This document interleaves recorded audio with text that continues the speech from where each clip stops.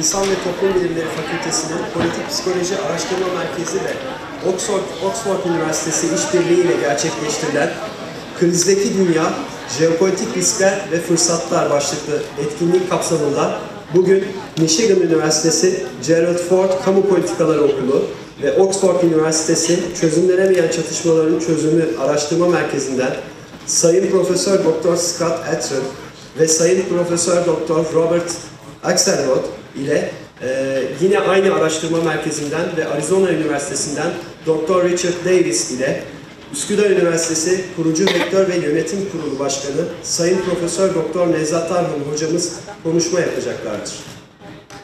Misafirlerinize Üsküdar Üniversitesi'ne hoş geldiniz diyoruz.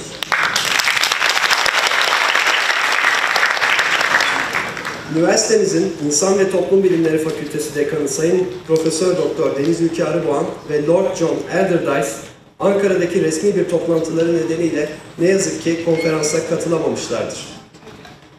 Üniversite kültürü dersi kapsamında olan etkinliğimiz boyunca simültane çeviri yapılacaktır. Bu nedenle katılımcıların etkinliği Türkçe takip etmeleri mümkün olacaktır. İlk olarak sözü üniversitemizin kurucu rektör ve yönetim üst kurulu başkanı Sayın Profesör Doktor Nevzat Tarhan hocamıza etkinliğin açılış konuşmasını yapmak üzere vermek istiyoruz. Hocamızı kürsüyü teşrif etmeye davet ediyoruz.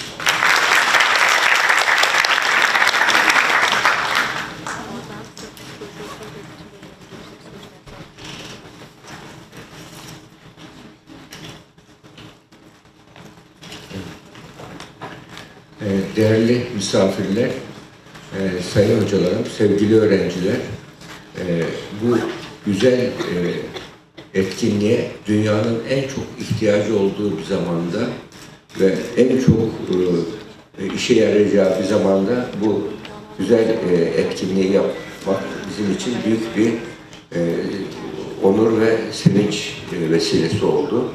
E, gelen e, misafirlerimiz e, Michigan Üniversitesi'nden, e, Oxford'dan ve e, Arizona e, Üniversitelerinden ve Üsküdar Üniversitesi ile birlikte olarak dünyadaki krizi, e, dünyadaki kriz, krizle ilgili çözüm olarak ne gibi çözümler düşünebilir, ne gibi fırsatlar var, bununla ilgili bir şeyler üretmek istiyoruz. Çünkü dünyanın özellikle şu anda dünyanın en çok ihtiyacı olan nedir?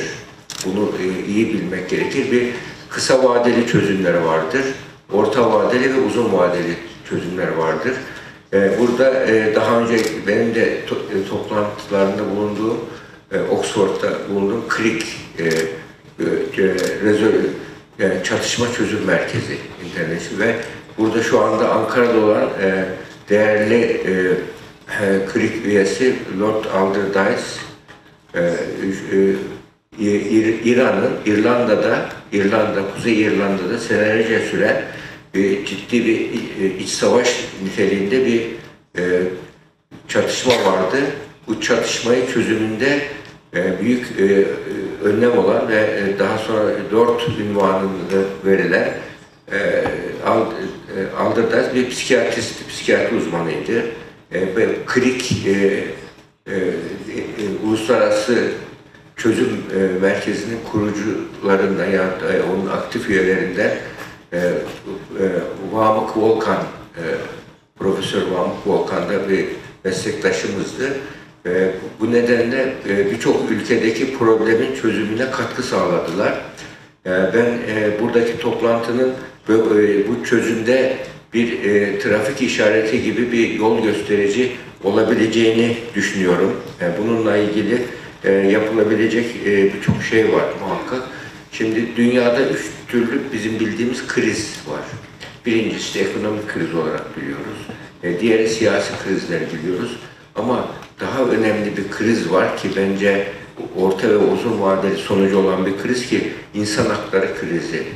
Bu insan hakları krizi konusunda e, de bir şeyler e, söylemek gerektiğini düşünüyorum.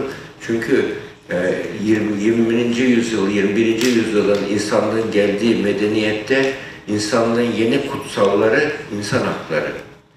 Yani insanlığı insan yapan ve insanlığın bir arada yaşamasını sağlayacak olan e, insan hakları e, İkinci Dünya Savaşı'ndan sonra Birleşmiş Milletler işte e, beyannamesi şeklinde bir nevi tescil edildi, bir nevi doğrulandı. E, bunu korumazsak eğer dünya yaşanılmaz hale gelir. Dünyanın daha yaşanılır hale gelebilmesi için e, dünyanın e, bu insan haklarına bir kutsal değer gibi sahip çıkılması gerekiyor. E, şu, şu durumda da e, insan hakları ile ilgili ciddi tartışmalar yaşanıyor. Bu krizlerden özellikle bir Orta Doğu'daki krizi e, şu anda biliyoruz. Aktif bir bölgesel bir e, savaş var. E şimdi bu normalde savaşlarda sivil ölümü yüzde beş ondur savaşlarda. Ama burada sivil ölümü yüzde altmış yetmiş ve bunu durdurulamıyor bu. E, bu da bir e, şu anda yüzde altmış yetmiş kadın, çocuk e, ve e, insanların ölmesi e, burada ne savaş hukukla açıklanabilir, ne uluslararası hukukla açıklanabilir bir durum. E, bu nedenle bu, bu konuda da e, bir e, buradan çık, yani bu tehdit boyutunu bilemiyoruz. Biz e, burada siyasi çözümden e, daha e, benim öncelikle gördüğüm insan hakları sisteminin dünyada zarar görmemesini sağlamak ve bunun bunun için burada ne gibi bir fırsatlar ortaya çıkarabileceğiz? Yani insanlığın daha iyiye gitmesi için neler yapabileceğiz? Benim ülkem daha iyiye gitsin değil, benim bölgem daha iyiye gitsin değil, insanlık daha iyiye gitsin diye düşünmemiz gerekiyor. Her ülke kendisinin daha iyi gitmesini düşünürse ne olur? Ee, etnik bir, e, bir nevi e, e, burada e, ben merkezci bir yaklaşım olur. Bir, e, sadece kendi çıkarını düşünen insanlardan oluşan bir aile düşünün. O ailede huzur olmaz. E, ke- sadece kendi çıkarından ülkeler, devletler düşünün. O devletlerin olduğu ortamda huzur olmaz. O yüzden huzur olması için güven oluşması lazım. Yani nasıl aile içi çatışmalarda biz güven oluşturucu önlemler düşünüyorsak bir ailede, bir şirkette bu e, uluslararası ilişkilerde de güven oluşturmamız gerekiyor. E, benim e, daha önce de e, bu e, söylemeye çalıştığım bir şey var. Birleşmiş Milletler'in dünya parlamentosu gibi olması. Dünya parlamentosu gibi olması. Yani diyelim nasıl bir demokratik sistemlerde ne var? Bir ülkede parlamento var. Toplumdaki her katman orada teslim, temsil ediliyor. Ve o temsiliyet içerisinde herkes e, e, kavga etmeden, savaşmadan, şiddet uygulamadan hakkını arıyorlar ve bir diyalog oluşuyor.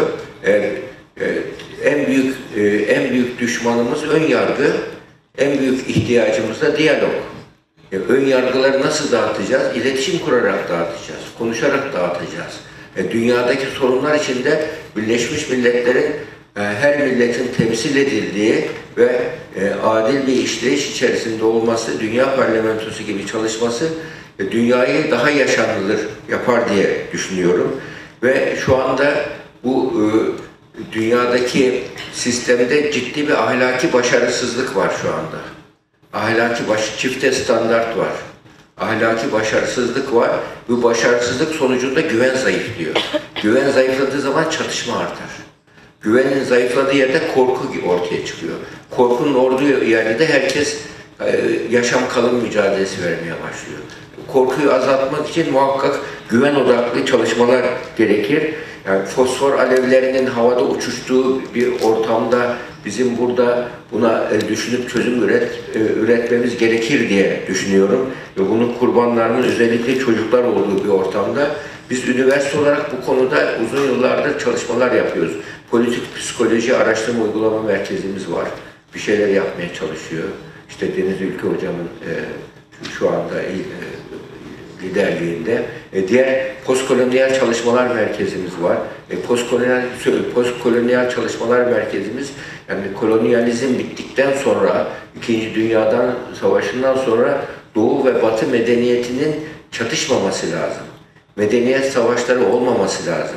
Bunun için neler yapılmalı? Bunu çalış, bunu çalışmıyor. Bunu bununla ilgileniyor. E, bunun için bu postkolonyal çalışmalar ve politik psikoloji çalışmalar içerisinde benim burada yani e, bizim Üsküdar Üniversitesi Senatosu'nda da önermek istediğim, eğer buradaki misafirlerimiz de uygun görür, kabul ederse, burada e, özellikle küresel barış ve insan hakları konusunda bir manifesto yayınlayabilirsek, bu manifesto içerisinde biz e, burada dünyada e, dünyanın daha yaşanılır olabilmesi için, dünyanın daha e, e, yani silah lobilerinin etkisinden kurtulabilmesi için topyekün dünyada bir ciddi bir farkındalık gerekiyor. O farkındalık olursa ancak burada toplumdan talep olursa bazı şeyler düzelir. Yoksa e, güç savaşları, ego savaşları hiç bitmez. Bu nedenle toplumsal farkındalık bu açıdan çok önemli. Dünyanın yeni bir medeniyet savaşına girmemesi gerekiyor. Doğu medeniyetiyle Batı medeniyeti arasında gerilim yaşatmak isteyenler var. E, bir güven oluşması gerekir ki bu medeniyet çatışması olmaması gerekir. Onun için e, lafta kalmamalı medeniyet çatışmaları. E, Ama bunun için e, güvenli ilişkiler olması, açık, şeffaf, dürüst ilişkiler olması gerekiyor. E, ve ötekileştirme, ayrımcılık yapılmaması gerekiyor. İnşallah ben bu şeyin e, e, bu, bu e, bugünkü toplantıdan da e, işte biz e, üniversitemizdeki ilgili merkezlerin e, uygun görmesi halinde bu konudaki bir manifesto ile bir kendi çapımızda bir katkı sağlamak istiyoruz ve e, bu e, her e, te- tehlikenin tehdit boyutu vardır, bir de fırsat boyutu vardır. Tehdit boyutunu e, çözmek için gerekenler yapılıyor ama fırsat boyutuyla neler yapılabilir? E, biz e, burada e, dünyada e, karar vericiler, karar vericilere yön verenler, bu konuda üniversiteleri bilgi üretir, ürettiği bilgileri bilim insanlığın akışına sunar. Bu akış içerisinde o bilgilere uygun, o bilgilere uygun çözümler üretilebilir. İnşallah ben ümit ediyorum KRİK ve buradaki değerli hocalarımız e, her biri e, e, Robert Scott hepsi çok bu konularda kafa yormuş kişi, kişiler.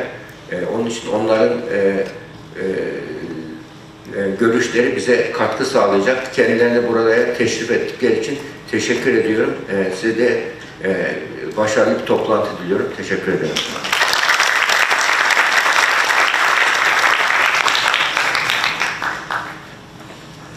Nevzat hocamıza konuşması için çok teşekkür ediyoruz. Şimdi değerli konuklarımızı sahneye teşrife davet ediyoruz.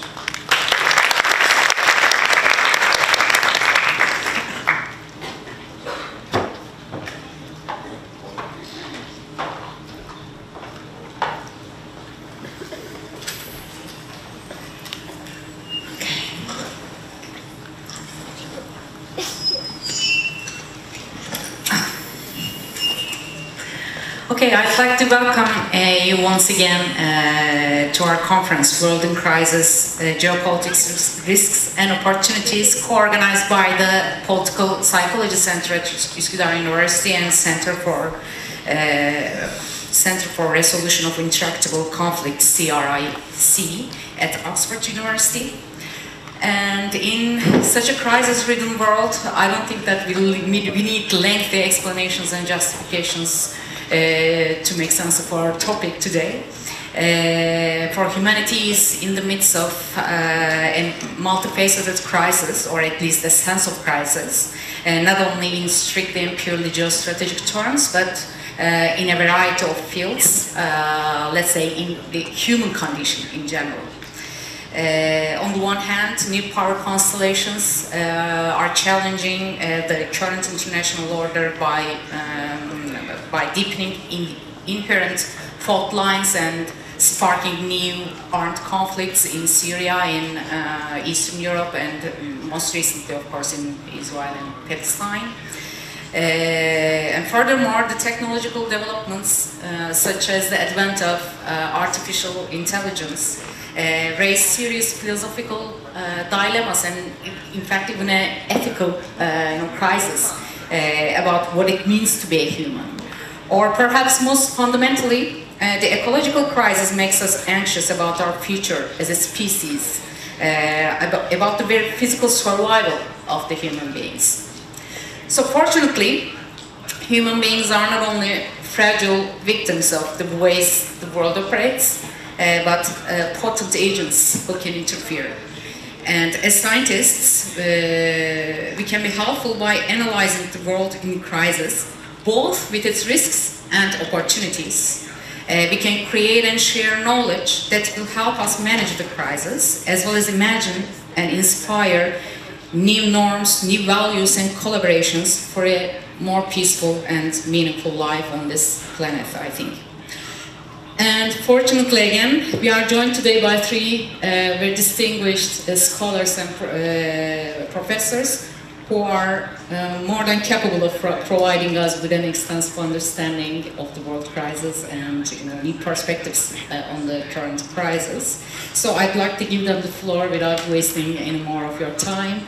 And uh, our method will be uh, Professor Axelrod uh, is going to give you a speech and then uh, two other contributors, uh, Professor Scott Atran and uh, Dr. Richard Davis, is gonna make some comments and contributions and criticisms, I guess, Uh, and then we will let you ask your answers or make your contributions.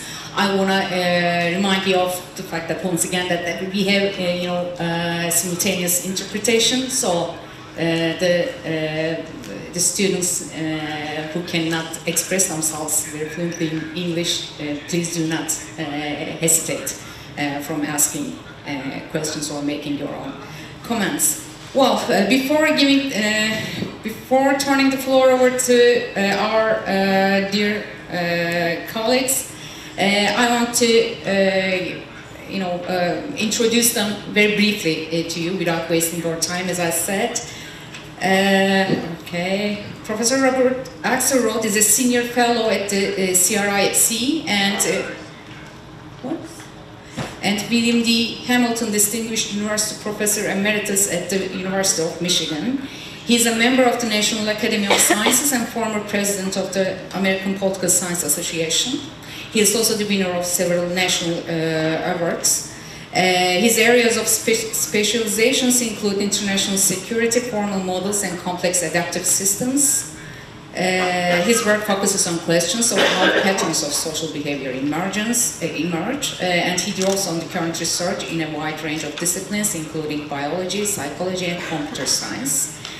Then uh, Professor Scott Atran is a co-founder of CRIC at Oxford University and Artis International, a research professor at the University of Michigan's Gerald Ford School of Public Policy, research fellow at Oxford University's Changing Character of War Center, emeritus director of research at France Centre National de la Recherche Scientifique, I guess, if I made my homework correctly, and advisor to the UN Security Council on counterterrorism and issues of youth, peace, and security. His research interests include the way scientists and ordinary people characterize, categorize and reason about nature, on the cognitive and evolutionary psychology of religion, and on the limits of rational choice in political and cultural conflict. And finally, Richard Davis. Uh, Dr. Richard Davis is Chief Executive Officer and co-founder of Artis International. Uh, he holds several active appointments, which include founding fellow of the Center for the Resolution of CRIC at the University of Oxford, uh, senior research fellow uh, at Harris uh, Manchester College, University of Oxford, senior research associate at the Center for International Studies, Department of Politics and International Relations at the University of Oxford, I guess. Uh, Richard, uh, he served at, uh, at the White House as the Director of Prevention uh, Policy Terrorism. Uh, he has authored and co-authored articles and publications on energy, international security, political violence, and terrorism. So uh, that's it, I guess. And dear Professor Axelrod, please. Thank you. It's a great honor to be here today, uh, to see you and to uh, have a chance to talk about the world in crisis. My plan is to speak about 15 minutes, then my colleagues will explain to you what I said that was incorrect, then we will have a chance uh, to interact with you folks. I want to start with climate change. This, this picture is a very good illustration of the problem. Usually in international affairs, we worry about nations, but there's the global problem, as you know, of climate change, where the world is getting hotter and less livable. And the nations have made many commitments, and they have not honored those commitments. And therefore, the situation is getting worse year by year. Already um, in Turkey, you can see, as you've experienced, uh, forest fires, drought, flooding, and soon to be realized ocean rise, which will cause even more problems. These are global problems and they exist locally as well. And the world has not yet found a way to cope with them and stop the deterioration that in your lifetimes will be very severe. Now I'd like to turn to some national problems. Let me start with China and its relationship with the United States. China, as you know, is a country that is still asserting its role in the world. It is deeply affected by the Western imperialism of the 19th century, and which um, destroyed its previous um, role as the center of its own world for many centuries. So it is regarded as the Middle Kingdom. The West destroyed that role, and then since about 1950, it has been rebuilding. And it is still asserting its role, and, um, and of course its economic growth has been very substantial, although recently slowed somewhat.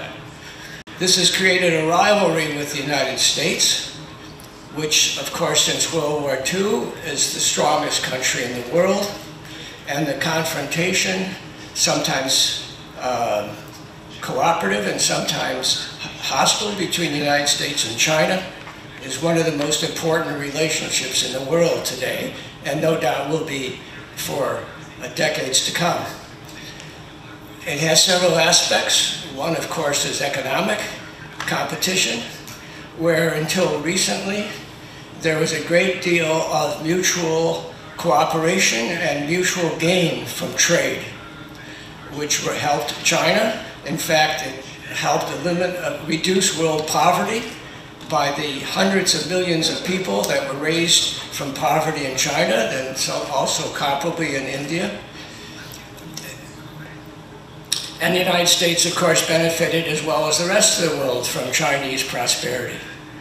But more recently, especially in the last five years or so, the relationship economically has become much more uh, ambiguous, where the United States, for example, is uh, um, distancing itself uh, from um, uh, unlimited co economic cooperation and is trying to maintain more self-sufficiency, and China as well is asserting its own uh, abilities to uh, maintain its growth and development without um, undue reliance on the rest of the world. The single most important challenge is Taiwan, which as you know is a, a separate political unit that China regards as part of its country. The United States has accepted that um, um, position. On the other hand, it lives effectively as an independent country. And China, up till now, has been willing to put the problem off indefinitely. But in recent years, they say they do not want to put it off indefinitely. It at some point should be solved.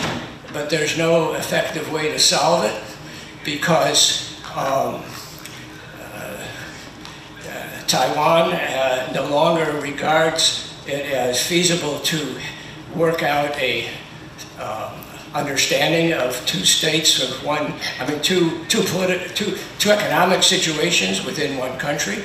In particular, what happened in Hong Kong makes that um, um, in, in, impossible. So that is a, a constant problem which um, so far has not exploded. But there have been tensions more directly on the periphery, in particular in the South China Sea, where China is asserting its right to um, control the entire South China Sea. The United States with uh, Vietnam, Philippines, Japan, has resisted that, and it's, uh, it's, it's a frontier of uh, possibilities of, um, uh, une- of unexpected conflict. Russia, of course, is another major issue in international affairs, in particular its relation with other countries. Russia, as you know, is a, um, a country that is deeply dissatisfied with its role in the world. Since the Soviet Union collapsed, the Russian state has no longer been one of the major uh, bipolar countries, and it has been asserting itself on the border. And of course, uh, contemporary, the current situation is most intense since its invasion of Ukraine. That situation is uh, ongoing as a major conflict. It, uh, it is uh, not clear how it is going to develop. In the short run, it's almost a stalemate, but Russia uh, is asserting its uh, economic and um, population abilities to overwhelm the smaller country of Ukraine, which is very dependent on assistance from the United States and Europe.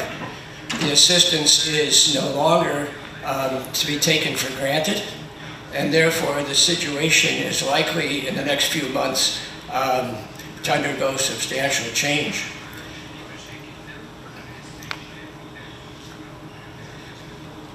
Let me also say that the United States itself is undergoing change.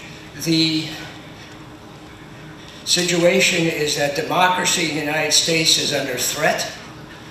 The political system has become very polarized, with people on the left and right disputing almost everything and having great difficulty cooperating.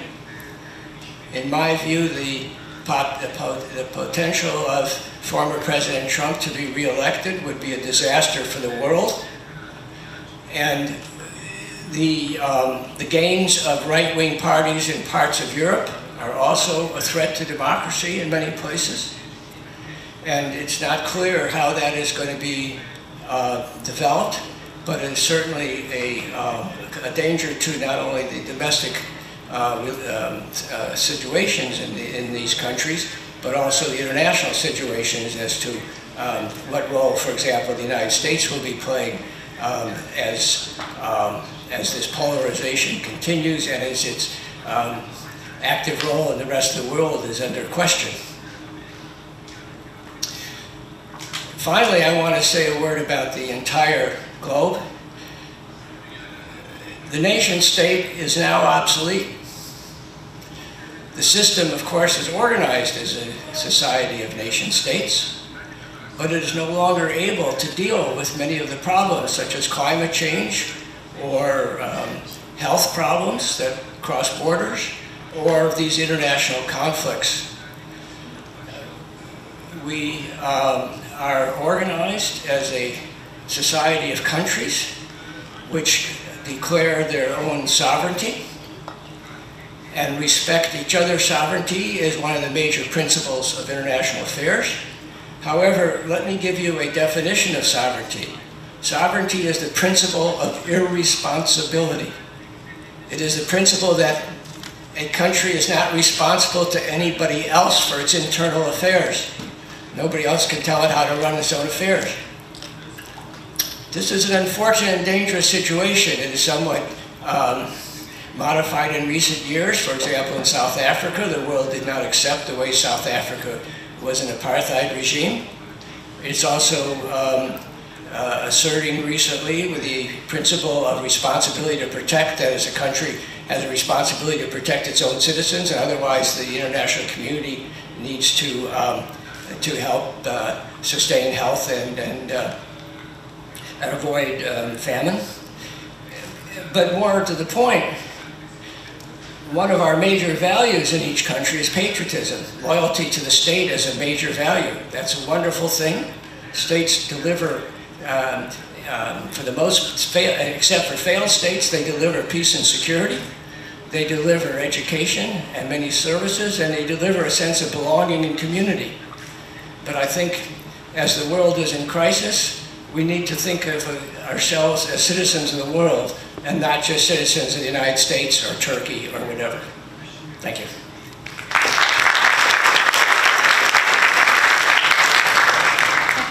Thank you very much, Professor. Can you hear me?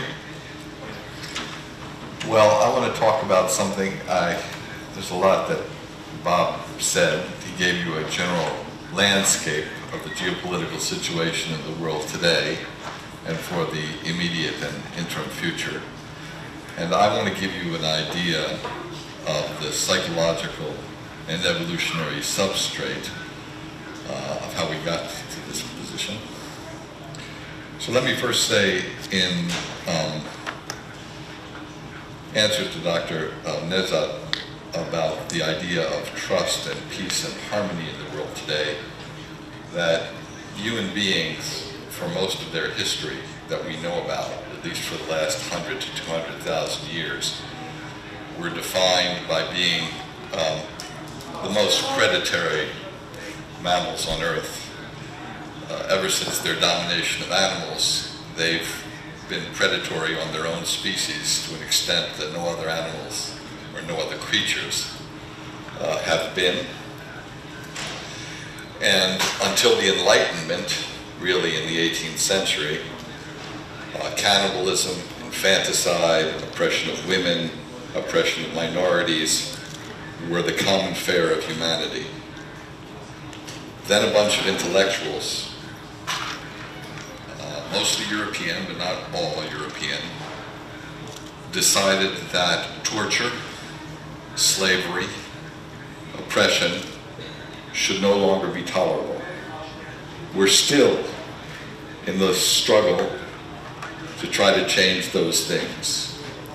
So there's nothing in humanity itself that is inherently peaceful. It takes a lot of work. It took centuries, even of wars, to bring us to the place where slavery and torture and oppression are no longer widely tolerated. The question is, how much further can we advance?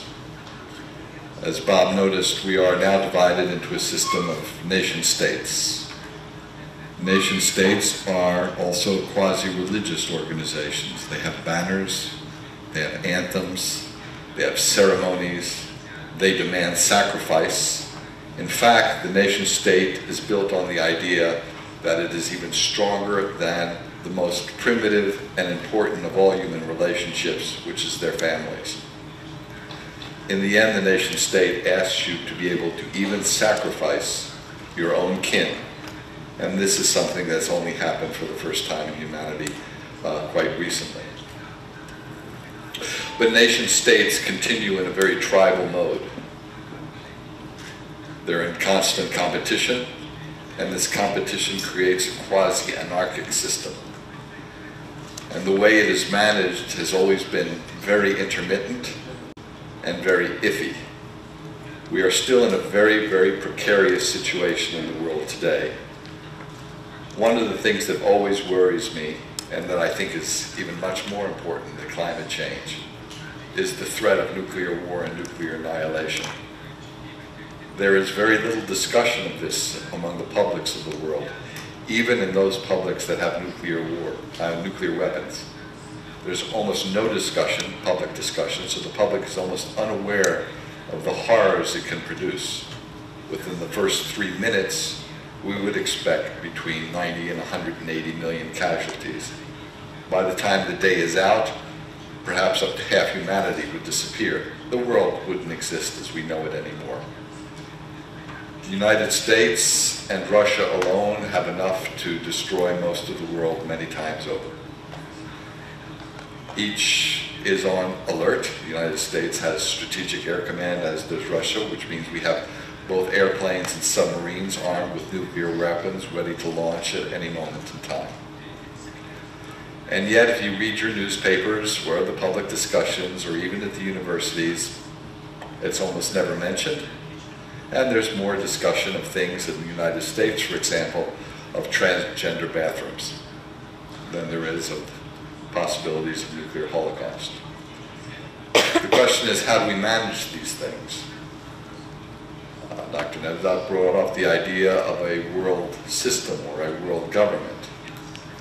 Well, the problem with the world government is that Bertrand Russell, of course, and Albert Einstein brought that up in the 1950s when nuclear arms first came into public consciousness, and, but that didn't work very well. One of the problems with world government is for a world government to work, it has to have a monopoly of force. But who's going to give that the monopoly of force? In the discussion of who to give up force for this world government's monopoly of force, you're going to get the same tribal politics as you have today. To get out of the idea that the nation state is the center of everything is going to take many, many years. Just as the idea, for example, that cannibalism was wrong, or that slavery was wrong, or that bodily torture was wrong, or that racism was wrong. Again, human beings do have inherently racist tendencies, and for good reasons. At the beginning of humanity, when we were very much predatory, and each tribe suspected the other tribe, if you had a different accent, or a different hair color, or a different skin color, you had to make a very fast decision whether to fight, to flee, or to cooperate. So these external signs were very important in survival. Unfortunately, in today's world, they continue. And it takes quite a bit of education to overcome these kinds of almost innate prejudices. We have many other kinds of innate prejudices. We go to our own. I do experiments with my students at the university. I say, you guys are the orange guys, and you guys are the green guys. And by the end of the day, they're discriminating against one another in everything from ordering food to how they treat one another in the classroom. And it was completely arbitrary. I simply said, you're green and you're orange. And students at elite universities, highly educated, spontaneously organized themselves into competing tribes that were hostile to one another. So again, overcoming these tendencies requires constant vigilance and education, the kind of education you're receiving here, fortunately. But for the nation state, there is no educational system for this. The United Nations is, for many reasons, fairly weak. It's not as weak as the League of Nations were, unfortunately, because we do have a Security Council. People are talking about expanding the Security Council, but for the moment, at least it keeps a lid on things like uh, nuclear war.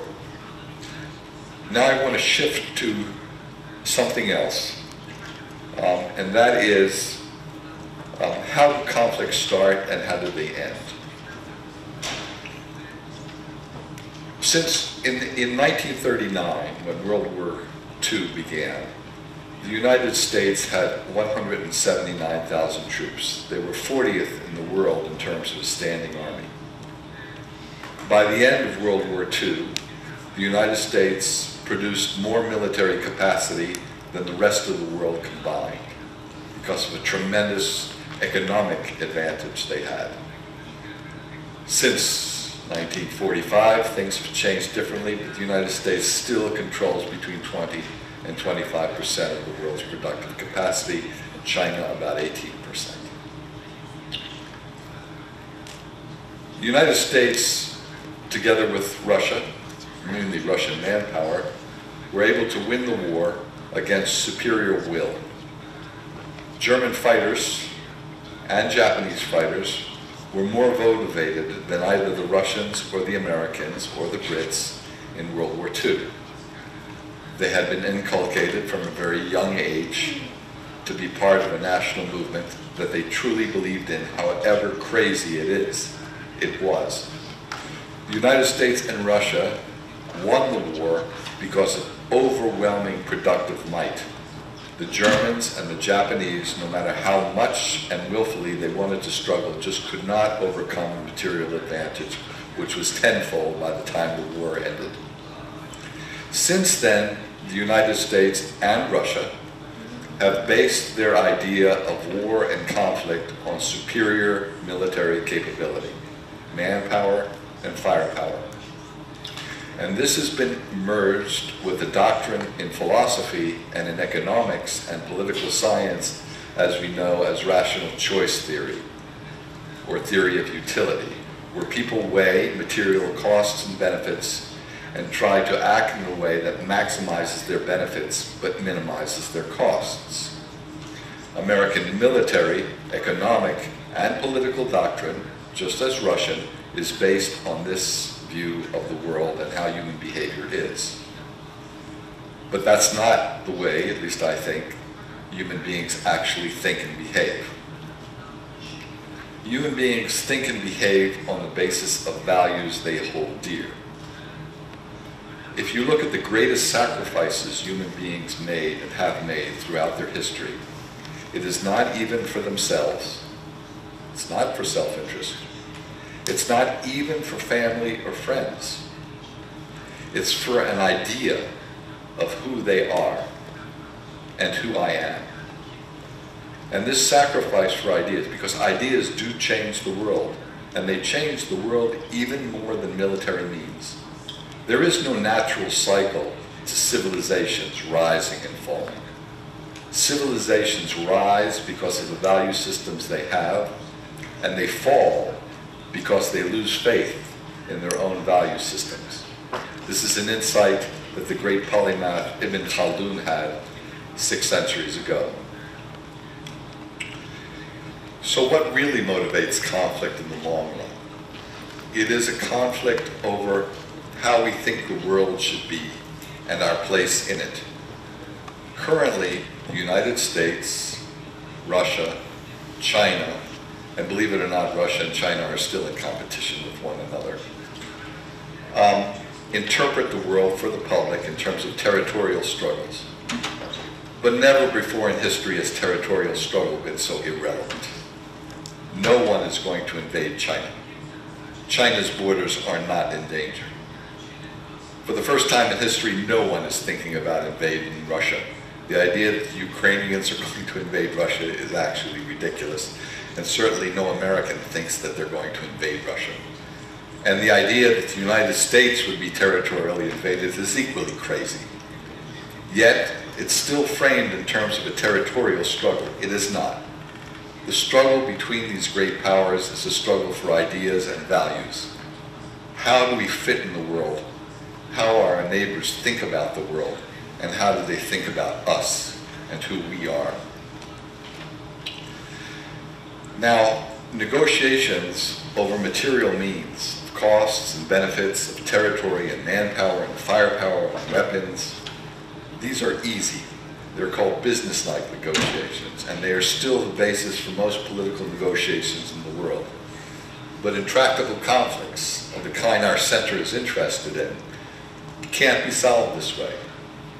Let's take, for example, the Israel-Palestine conflict.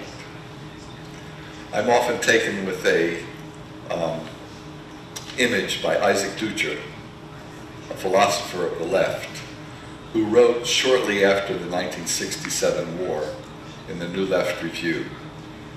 Imagine someone in a burning building. Their whole family is burned to death, and they're alone, perhaps with their child, and the only way out is to jump at the window. But passing underneath is another person with their parent, with their child, completely unaware of what's going on in the burning building. The person jumps out with their child onto the passerby, breaks their arms, breaks their legs. The person looks up and says, why have you done this to me? The person who jumps said, I had no choice. Both have the facts on their side. There is justice for both, and yet it seems to be irreconcilable. So how do we get past these kinds of conflicts? Conflict between Iran and the United States is similar. Well, One of the ways to do this is to explore not what material capabilities they have, not what firepower or manpower they have, or how many nuclear bombs they have, but what values do they really believe in? What is important for them? If you don't recognize that, you'll never get to the stage where you can even have discussions about economic changes. So we did a set of experiments. We did an experiment with Israeli and Palestinian leaders. We visited the leaders of the Hamas in Amman. We talked to all of them. We stayed with their families. And we visited and talked over the years with the leaders of Israel as well. We also did experiments, both brain experiments and uh, behavioral experiments with Israelis and Palestinians. We took the census Okay? Now, when you talk to leaders, you ask them to respond. Their next response will be influenced by their previous response. Okay? So this is called in psychology a within subjects design. There's a problem with that, but that's the only way you can treat leaders. You can't divide leaders into different groups. But for the population, you can. If you take the census, for example, and divide the population randomly into three different groups, then each group will not be affected by the answers of the other group, but you can give them different questions. That's called a between subjects design. So what we did was we took the census of Israel and the census of Palestine, we included all the settlers and all the refugees, and we divided each into three groups. The first group, we said, would you consider for each side, returning to the 1967 borders in exchange for a permanent peace. Neither side accepted it. About 80% on each side rejected it because of their histories, because of what they had been through. Then, the second group, we asked, would you return to the 1967 borders if the European Union the United States and Russia would guarantee to each family the equivalent of 50,000 euros or $50,000 for the accommodation and provide the Palestinian Authority and the Israeli settler groups so many billions of dollars. Not only was the answer no, but opposition to a peace increased almost to ceiling.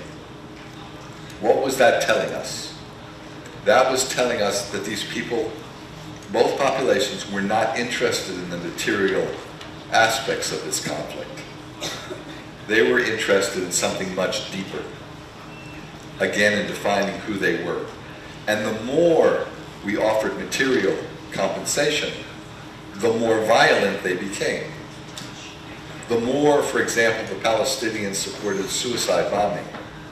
And when you do brain experiments of people who support suicide bombing, you find that revenge and joy occupy the same neural pathways. So, what was this telling us? It was telling us that economic theory, political theory, were pretty much wrong in terms of how humans behave and think about things like conflict. They don't think about material costs and benefits in the first instance. It's not the most important thing. They think about who they are, their ideas, their values, and what they truly care for. So the third group, we did something quite different. We said, would you accept a return to the 1967 borders? Same for Palestinian refugees, same for Israeli settlers, and same for the general population for the Palestinians if the Israelis apologized for the Nakba, for the catastrophe of 1948, without any promise of a return of refugees, but made a sincere apology. And Bob and I and Rich worked on these issues for quite some time with Palestinian and Israeli researchers. And what we found was even the settlers, the hardcore settlers, were much more willing to make a peace with the Palestinians. I mean, the Palestinians were much more interested in making a peace with the Israelis. Then we asked the settlers, would you accept a permanent peace along the 1967 borders if the Palestinian people and their leaders, including the Hamas and the Palestinian Islamic Jihad, said, we are ready to allow the existence of Israel here in the Middle East. And opposition to peace went down significantly. Now think about it. No material offers whatsoever, an apology. That's all they wanted. Some recognition of who they are. We then went to the leaders. We went to Damascus, we interviewed the leaders, we provided the same issues. Again, it's a little bit different because they're affected by the previous answer they gave in these three alternatives. But what we found was, surprisingly, and they can testify, that, for example, Khalid Mashal, who is the chairman of the Hamas Politburo, when we went through this process, he said, yes, if the Israelis apologize, then we can talk. And then we asked him, would you consider a true peace, a permanent peace, salam, not hudna, not a truce, which is the standard position of the Hamas, that will have a 10-year or 100-year truce, but then Israel will disappear. Would you accept a permanent salam? Even his advisors were surprised when he said, yes, I think that is possible. We asked the same thing in the Knesset of Mr. Netanyahu.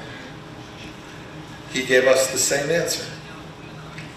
But, he said, I would have to see all references to anti-Semitic literature expunged from Palestinian textbooks, and we would have to really be convinced. Both populations also agreed with these two scenarios. Both supported a two-state solution, massively. 70 to 80% at the time, Palestinians and Israelis supported a two-state solution back in 2007, 2009. But then things collapsed. There was Hamas suicide bombing campaigns. There was Netanyahu and his problem of creeping annexation and settlement and playing off Hamas against the Palestinian Authority, even providing money to the Hamas so they would oppose the Palestinian Authority and prevent uh, a Palestinian state from emerging. And things have degenerated to the point that 17% of the Palestinians only believe that's even a possibility, and less than 30% of the Israelis believe that's a possibility. However, we also know that if trust can be built rapidly, a two-state solution comes rapidly to the fore of both populations. And both populations desire, earnestly desire, a permanent peace. The question is, how do you build trust? Trust, like reputation, is very hard to build. And once you have trust and reputation built, it is very easy to destroy. Sometimes it only takes one event to make the whole thing collapse. To give you an example of where apologies haven't worked, Germany, after World War II, apologized to the Western nations and the Eastern nations and to the Jewish community. And they did it in a sincere manner, to the point where Germany is accepted by European countries and by the Jewish people in Israel as a true friend. The same has not occurred with, with Japan. Japan never apologized to Korea for what they did, and they never really apologized to China for what they did. And China and Korea, as a result, still do not trust Japan. So for an apology to work, it has to be one that's trusted and sincere. And neither side sees that right now. And the question is, how do we build, not only between Israel and Palestine, but also wherever there is conflict, the kind of trust that allows for respect of the values of the other side. Now, of course, sometimes values are so incompatible that there is no resolution. Nazi values were completely incompatible with democratic values or even other kinds of authoritarian values. The Nazis simply wanted to enslave most of the world and to exterminate not only Jews, gypsies, Slavs, or anyone else they felt to be inferior. Therefore, there was no alternative but to fight the Nazis. But that's not the way most of the world is. Most people want what you all want. They want to feel fairly safe, fairly secure. They want their children and their parents to feel safe and secure. But as George Orwell said in a wonderful, you can go on the internet, a one-page review of Mein Kampf, he said, but it's wrong to think that all people want is comfort and safety and security and hygiene and health care. People also want, at least intermittently, something to believe in, something that transcends who they are alone in this world. And that's what Mr. Hitler has understood. And that's why his message has been so powerful. Unfortunately, it's been a dangerous and killing message. But there must be other messages out there, like those of Gandhi or Martin Luther King, that at least can compete with that kind of adventure, intellectual adventure, emotional adventure, and desire. And I'll end it there.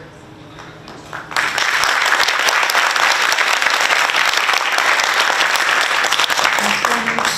As the final speaker, I think, and we're going to listen to you, Richard. Thank you. So first of all, I love Istanbul, an amazing city. If you were dropped with your eyes closed, you come into Istanbul, you're like, oh, might be heaven. Beautiful place. Um, this university is also a fascinating place. Um, I love the, the unbridled talent of university students, and so it's so refreshing to actually be able to um, work with students. Um, if you um, with the, the future that you have. And so hopefully we can help you today. Um, I also look for uh, people who have done amazing things in life. Um, your founding professor here has done an amazing thing with this university, and it is awe-inspiring.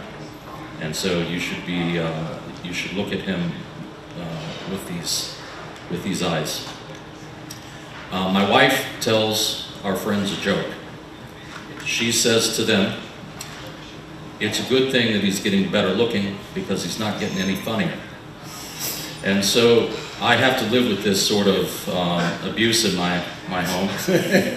and it shapes the way that I think about the world around me.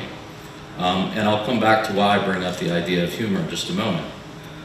But to give you an idea of what is possible within the talent that sits in the room, um, one of the things that, that our research teams have done is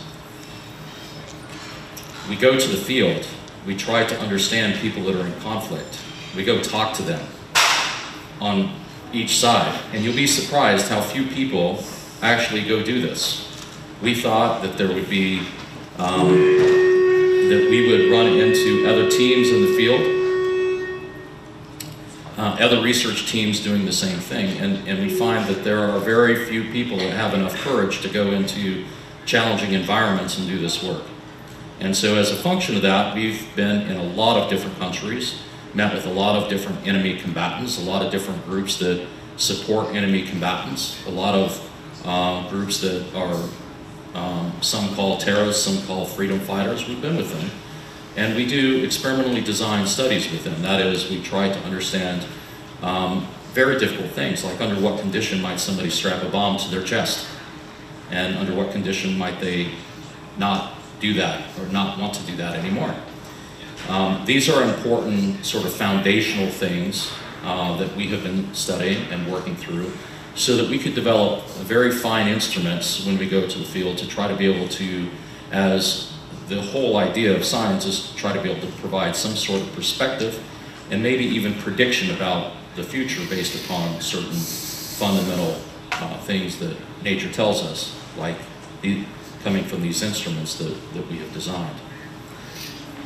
why this has become important is because it has allowed us as a research team to actually engage in the world of artificial intelligence and understand artificial intelligence. So I know, without asking you, that every one of you sitting in here has one of these in your pocket. And many of you have probably looked at it, um, you know, during the course of the time that we've been together, or you will look at it many, many times today. So fundamentally, what's happening with this little machine, which is stronger than even some of the spaceships that we had go up to the moon, right? This little machine now is shaping the way that you think about the world around you. So how's it doing it? Well, whether you call it social media platforms or whether you call it YouTube, what, whatever news sources or whatever information sources that you digest today, many of them are coming through this vehicle. And so then that leaves an opportunity for private sector companies to figure out exactly what it is that you look at, why you look at it, how long you spend looking at it, and to try to provide you information and feed you information that allows them to earn money, to grow their own uh, company, to try to get you to buy things, to try to, try to get you to go to things. Now this has become a fundamental uh, battleground for the future of how societies think and what is, um, how countries even see each other. And so our research teams not only go to the field now, but we have um, advanced work in the artificial intelligence space. And I can assure you that based upon what we know and what we see, is that one of the most intractable problems that we have today is coming as a function of how influence is changing. Personal and collective influence is happening as a function of the preferences that you have because of this, this vector. It's allowing you to receive information faster, more quickly than at any other time in human history. And so as, as we think about this, these field studies and why somebody would actually want to strap a bomb to their chest, these fundamental human uh, values we find critically important in the shaping of artificial intelligence. The interesting thing is ChatGPT, and I'm sure none of you are using ChatGPT or GPT-4 to write your, your papers for your classes. I'm sure of it. but yet, these tools are now part of us and part of the future, but what's interesting about them is that they lack um, some very fundamental, rudimentary things about what, how human beings work. They don't understand, for example, the difference between value structures that you may have of what you hold important. Um, they may not understand the difference in language between southeastern Turkey and Istanbul. You know, the, the inflections, the idioms, the, the, these types of things. And so as a function of this, we find that uh, the deployment of artificial intelligence is likely going to change um, to where it has much more cognitive and cultural and behavioral aspects to it. Um, and, and that's what we are on the frontier of at the center at Oxford, where, where we're trying to define these things. It has gotten to the point where we have even developed our own GPTs that allow for this sort of cultural and, and, and, and collective um, understanding of finite groups, different groups in the way they view things. We're even so far as now to try to see if we can make a GPT that actually is funny, where it can use local humor, local idioms to be able to feed back to you and to get you to laugh. This is the hardest thing in artificial intelligence, and it is the frontier. Now, why is this important? Because nation states are weaponizing it today. And we have been watching nation states weaponizing it, and we have now watched armed groups weaponizing um, information um, through these same algorithm development things. And the, the sort of challenging things, and we would put this, and I would put this at around 24 to 36 months before we begin to see a real concerted effort by organized crime to use artificial intelligence um, in ways that um, profits them. Even yesterday, uh, President Putin was shown a uh, likeness of himself, a video likeness of himself saying whatever the AI machine was programmed to have it say. Because we want you to have the opportunity to ask questions, I'm going to just leave you with one fundamental thing for you to consider. The, everything that you've heard on the stage today is possible for you to work on and you to shape the future of the world. It is possible, but you just have to believe it's possible and you have to work hard enough to get there. Nobody's going to give you anything. And effort means a great deal, and good effort means more. I'm going to stop there.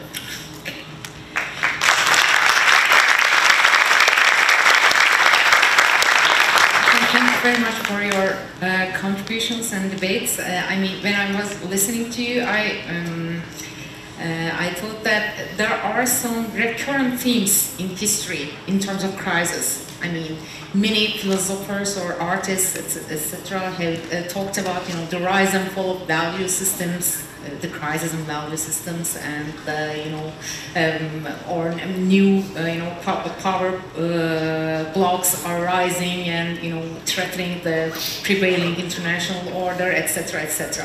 Uh, from the early modern history, from the Enlightenment uh, process, or pre-modern history, like your reference to Ibn Khaldun, etc.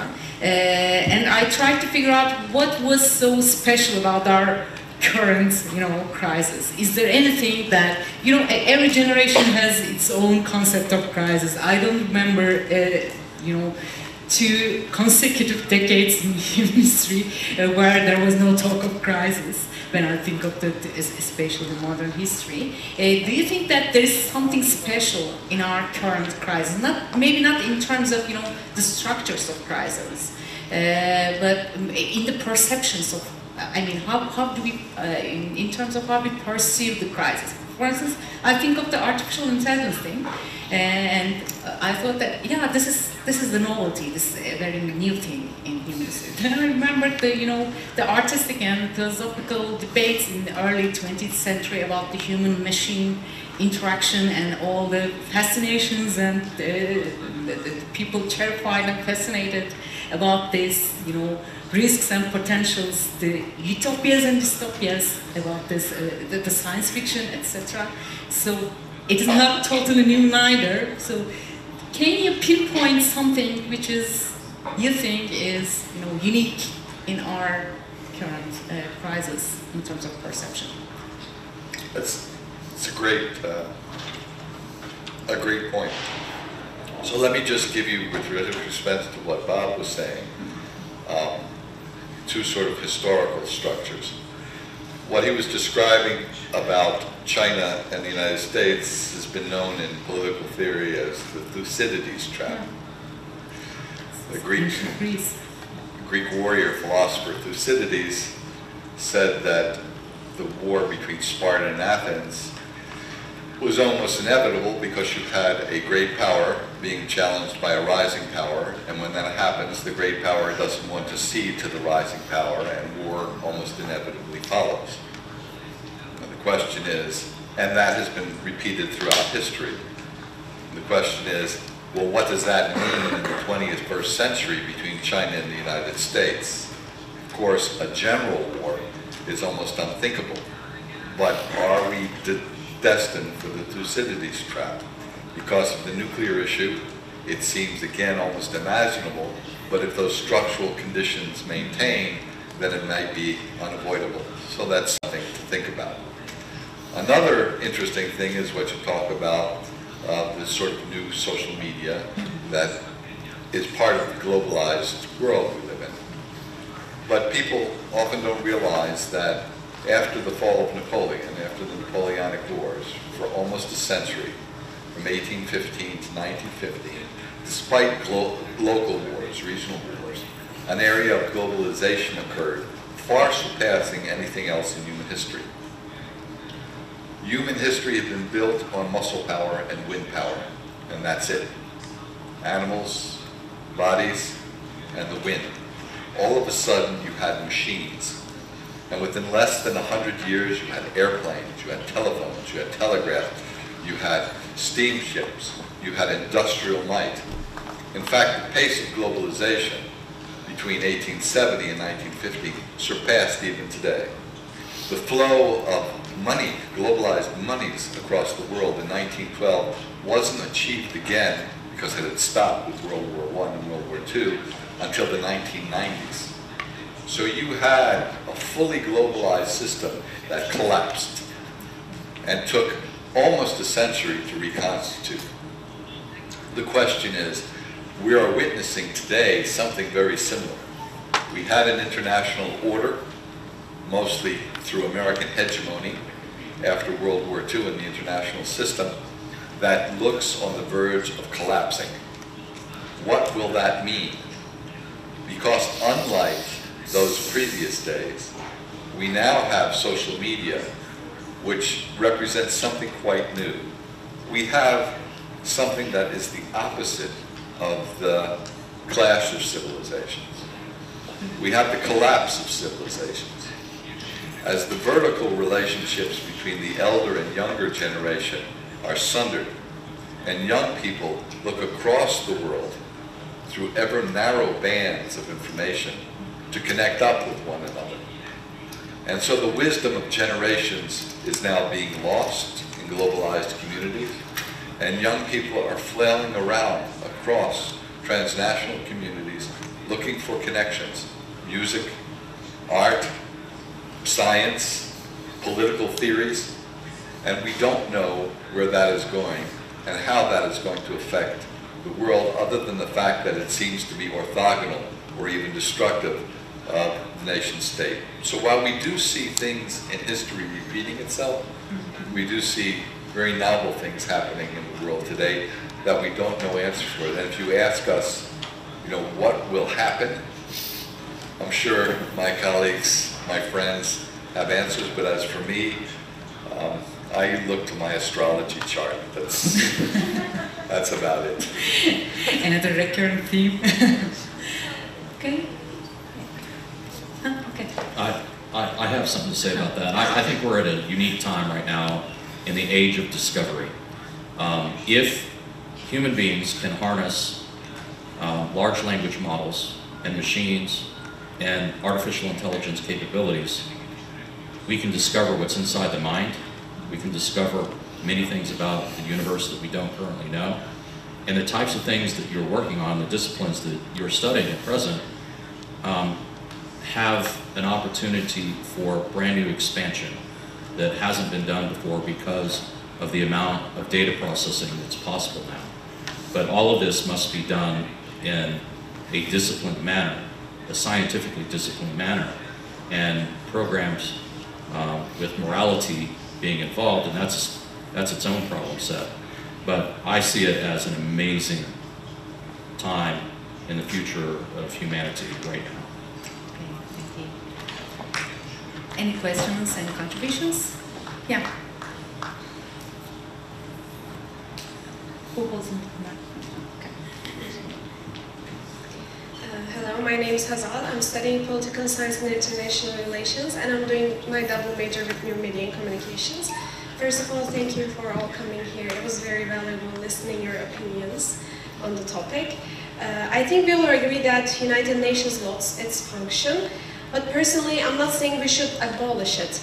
Uh, because today, if we abolish United Nations, we don't have any other organization that is ready to put United uh, a representative from each country into a building less than an hour. We don't have any. So, in Security Council permanent members, there is no Muslim country member or a Turkey country member, so which is a problem too, in my opinion. Uh, so it looks like a solution is going to going into a change in United Nations organization. So my question is when and how do you think these changes will happen in United Nations?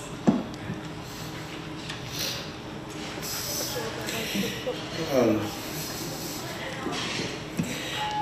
As you know, the five major powers after World War II enshrined in the United Nations the right to veto any required actions by others. they're not going to give that up.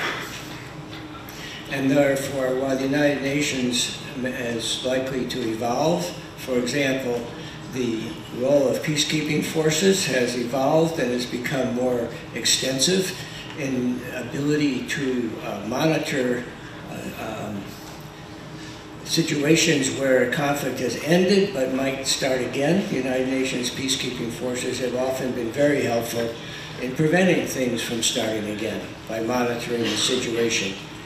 Um, but, and the United Nations might well um, have a larger Security Council, allowing more countries um, to be uh, rotating members without a veto. But unfortunately, five countries that have a veto are never going to give it up. And so that limits the authoritative power of the United Nations to those situations where these five countries can agree, or at least not uh, assert a disagreement, which is, of course, uh, rules out um, major issues, like shall we have a ceasefire in Gaza? Uh, if the United States vetoes it, the United States, um, um, the General Assembly can still express a, wide, a very widespread uh, world view by most countries that there should be an immediate ceasefire, but it can't be, but the United Nations cannot um, require it. And uh, so its, its growth is limited, but it's still, as you say, the only um, institution that, that has representation for the whole world. However, there are some alternative institutions. Uh, there's social movements, like the women's movement, to take one example, or climate uh, activism. There's also economic organizations, such as um, very large corporations that have um, very substantial power on their own. There's also uh, alliances between countries, whether they're oil-producing countries in OPEC, or, for example, NATO countries that work together. So there is institutional development, um, but uh, and it's a slow process based on learning lessons of what doesn't work and what's needed, such as um, the organization of new economic institutions of the World Bank and the International Monetary Fund after World War II, which have been quite effective in managing financial uh, transactions between the countries. Um, and I think it's a uh, important part of the development of these international institutions and that citizens such as yourself can play a role in developing social movements, whether it be, for example, for women or for uh, climate or for human rights or for peace in uh, particular situations, that these bottom-up um, mass movements can actually have an effect in reflecting the changing values of the world. And I hope that you uh, uh, are inspired to take part in whatever one of those suits your interests. Thank you very much. There was another question. Yes. Uh, well, hi, my name is Asma. I'm studying also political science and international relations uh, with a double major in psychology. I found your uh, speech really interesting, especially in the part of your experimental designs, in which you mentioned uh, the, when you try to study between uh, Palestinians and Israelis, especially the part that I found so interesting is you said revenge and joy in their part of the brain is different from pe normal people. The people with suicide, suicidal bombings, and the revenge and joy part in their brain is different from others. But how exactly can we say that comes from? Is it something they were born with, or is it something that they cultivate later? And in which period of the time did they cultivate it? And thank you. No, they're not different. It, what, what I was saying was that um, when people uh, support suicide bombing, revenge, for example, we did a study with uh, Palestinian Center for Policy and Survey Research, where um, support for suicide bombing went up in the general population, not just suicide bombers, the general population, whenever checkpoint, I don't know if you've ever, well, you probably have never experienced an Israeli checkpoint, but it's quite harrowing.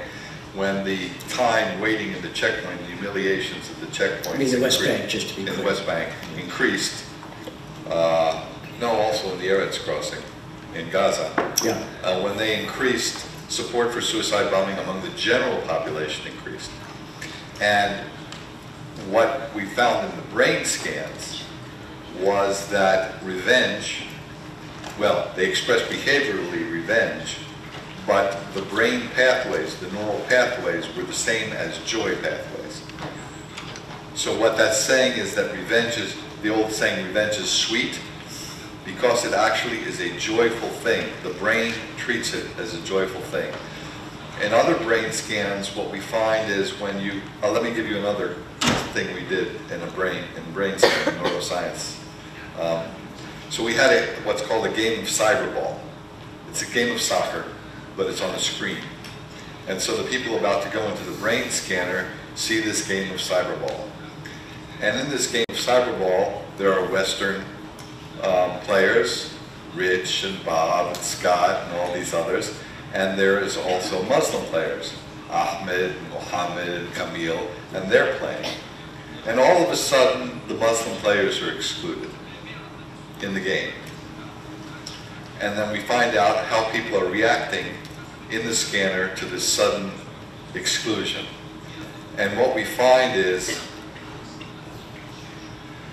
um, not only belief of discrimination, but willingness to fight and die for values they think now are under threat.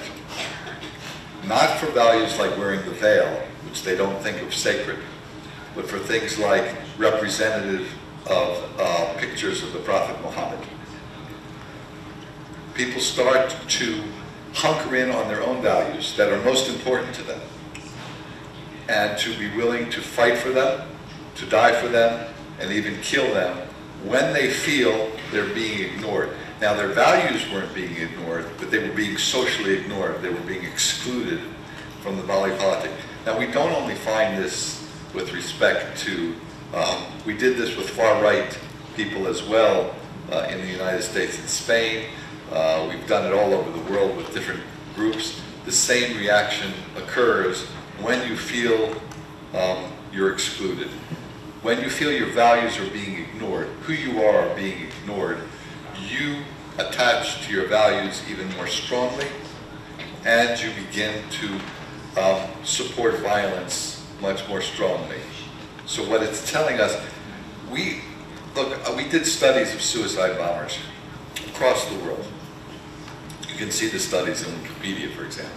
We found no difference between suicide bombers and other people in terms of their basic psychology. They span the normal distribution. That is, you find some real nutcases, some real brilliant people, but most of the people are normal on all other measures.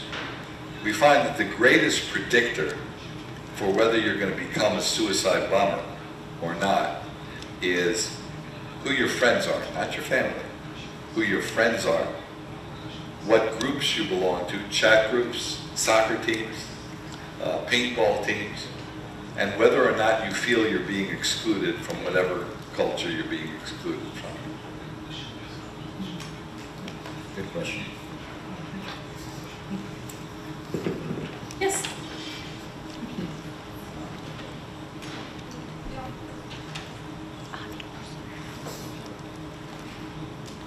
Merhaba ilk önce. Ee, sorum Türkçe olacak. Bugün İngilizcem yeterli değil. Siyaset bilim ve uluslararası ilişkiler öğrencisiyim. Ee, sorum e, yapay zeka ile alakalı. Gelişen yapay zeka ve teknolojilerin insanların birçok yeni bilgileri oluşturabileceğini e, ve yeni alanlara erişim sağlayabileceğini söylediniz. Peki e, bu yeni bilgiler insanlığı nasıl etkiler? Mesela, mesela biz insanlar e, gelişmek isterken birçok alana erişmek isterken aynı zamanda kendi sonumuzu da getirebilir miyiz? Mesela diyelim ki 50 yıl sonra insanlık ne duruma gelecek veya insan kırılacak mı? E, fikri çok dikkatimi çekti. O yüzden bu konu hakkında ne düşünüyorsunuz öğrenmek istiyorum.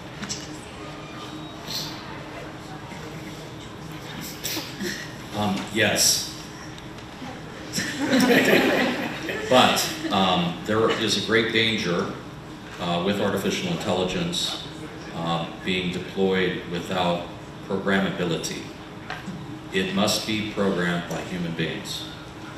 Without that, the dangers increase significantly. But even with programmability by human beings, as you've heard already, some human beings are aggressive, some are passive. And so the programmability of artificial intelligence um, will follow that sort of pathway. And the objective of what I've tried to communicate with you all is that you could shape the future of it right now if you work towards that. Where it's shaping your pathways today through your phone, as an example, and the types of things that you look and watch, you should just recognize that oftentimes the algorithms that are being developed by people that are trying to profit from you are being developed in a way to um, work towards your confirmation bias. They work towards the values that you hold dear currently, and they try to threaten those values in a way to mobilize you to do something. Buy something, go somewhere, do something. This is going to become much more acute problem, uh, particularly when uh, the profit motives and the technology filters its way down into uh, the hands of individuals and uh, small groups that can profit as a function of using these tools. I'd like to add something. Um, I worry more about the weakness of artificial intelligence than about its strength. And let me explain. We could take the example of self-driving cars. When it's a normal situation that the data is based on, uh, it, it can do a very good job, perhaps even better than human drivers. It doesn't get drunk, it doesn't get tired. It has faster reflexes.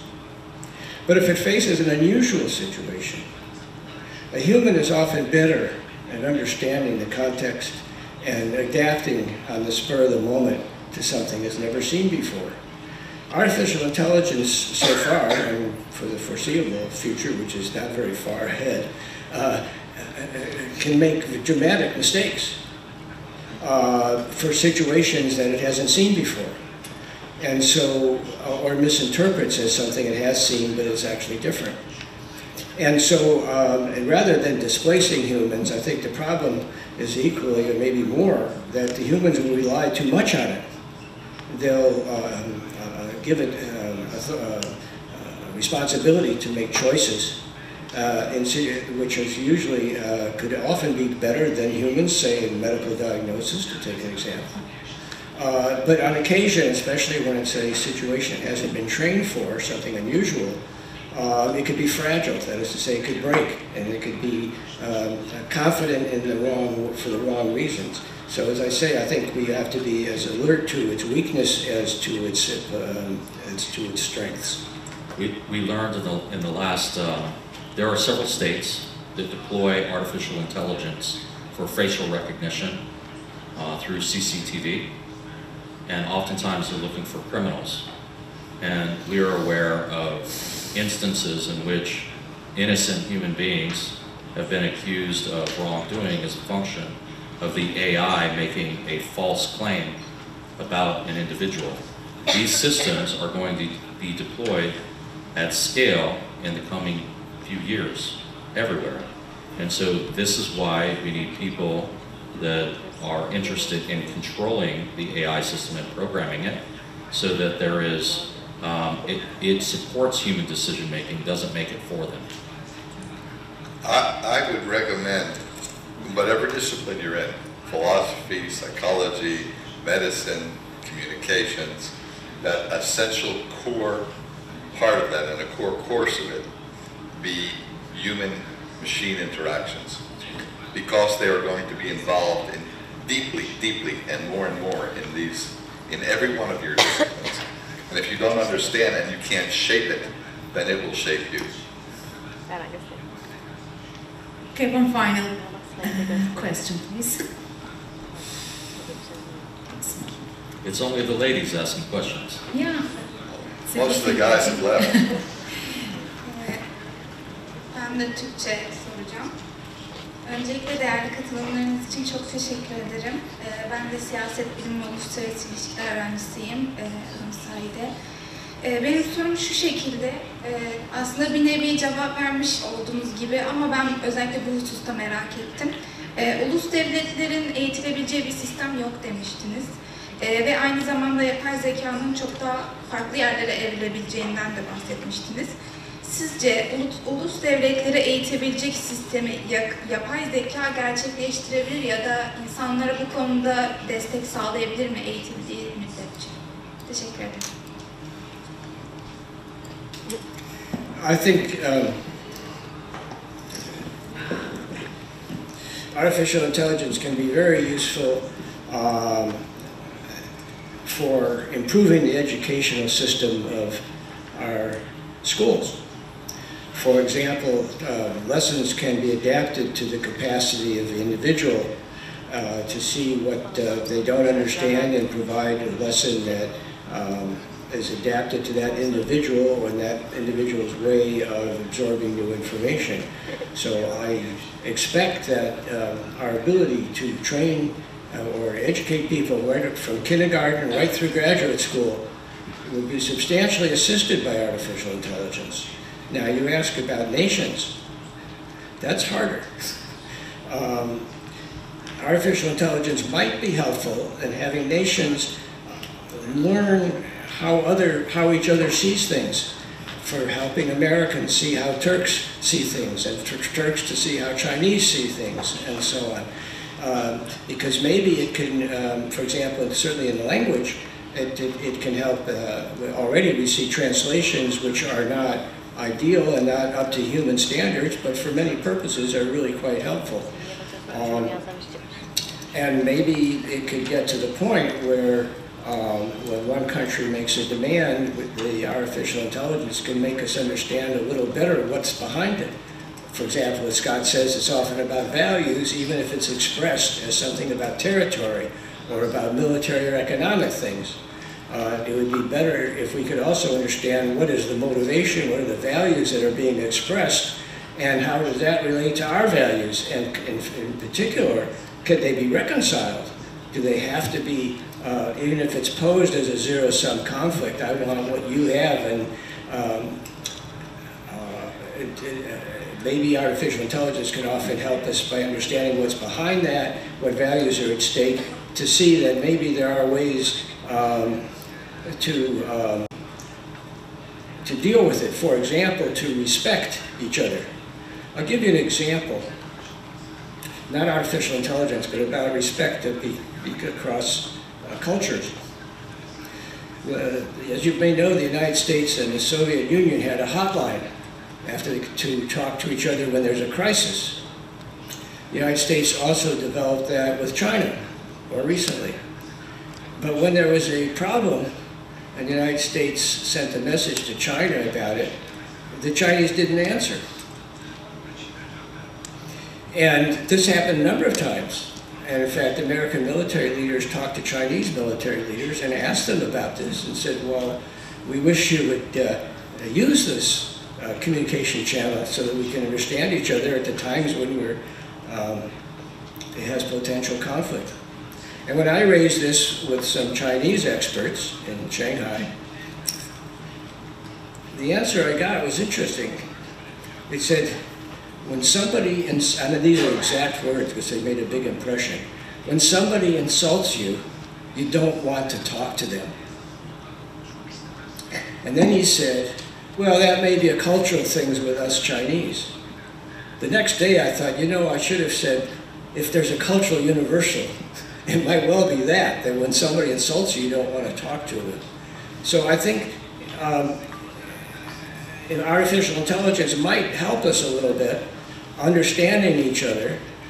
Um, to take an extreme example of this, again with the United States and China, when the Chinese fired missiles um, over Taiwan, and uh, the United States wanted to support Taiwan, we sent an aircraft carrier to show that we were serious. The Chinese noticed that the name of the aircraft carrier was the USS Independence. Was called Independence. That was the aircraft carrier that was in the region. The Chinese said, you're dealing independence in Taiwan, you're putting those together? Are you saying that Taiwan should be independent? Of course, for the Americans, this was silly. It was it happened to be the aircraft carrier. It was referring to American independence from Britain. But they saw it as possibly a, uh, a, uh, an insult and an assertion about the United States promoting Taiwan independence, which of course it was nothing of the kind. And I hope that artificial intelligence could help us um, uh, realize that some of these mistakes that we make of interpretation are really mistakes. For example, that the aircraft carrier happened to be the one that was nearby. So uh, Bob is talking about how artificial intelligence might help us disambiguate. Um, I'll, I'll just give you one example, maybe that should be the last one, about trust. So we were trying to deal with negotiations between the Iranians and the Americans on nuclear weapons. That is, to get the Iranians to give up nuclear program.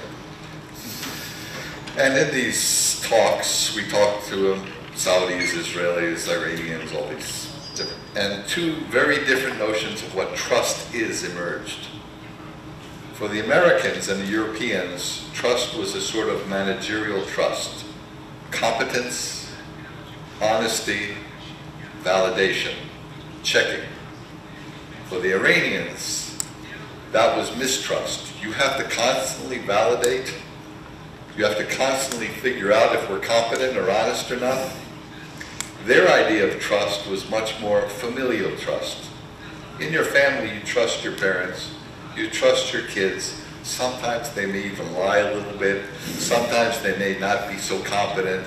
Sometimes they may not do exactly what you think, but you're not constantly monitoring because you know that because they're your family, you can trust them. And because things, if things get bad, you can count on them. That is not a conception of trust in American or European foreign policy or in the International Monetary Fund or in American industry. It is a serious aspect of trust in the rest of the world. So one of the problems we have, even in science, I don't know if you've heard this notion weird, okay? Western, educated, industrialized, rich, and developed countries, almost all theories, academic theories, and experiments are from that point of view.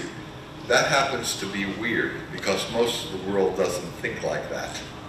And so what disambiguation and artificial intelligence might be doing if properly programmed is say, uh-oh, signal, warning, you're, you're doing this from a weird point of view. You better consider these other points of view. And that certainly could help um, de-conflict situations in the world. Any final remarks? Okay, the, the discussion is so inspiring that it's impossible to, you know, uh, let it uh, continue to uh, wait it, to cease. so someone needs to stop it. It's on me, I think, my job. So we want to thank you all uh, very much, very deeply for your contribution and for joining us here in Let me say one thing, and, and I, I hope I speak for you. If, uh, I know we're out of time, but if anybody wants to stay a little longer, come up and ask. We're more happy than to, to, to carry on. Can we continue? You don't have to Right here, yeah. go away? He's saying that uh, students can come ask questions if they want. Afterward. Okay, then we can continue Yeah. if you if you like. I mean, the end of the session, people need to go. Oh, okay, okay. So, uh, but before that, before uh, I mean, you are able to uh, approach and ask questions if you like, corporate questions if you like. But before that, uh, we want to uh, give you some uh, gifts by you know by our rector, Professor Tarhan. We want to offer you some plaquettes. So, please. Thank you very much.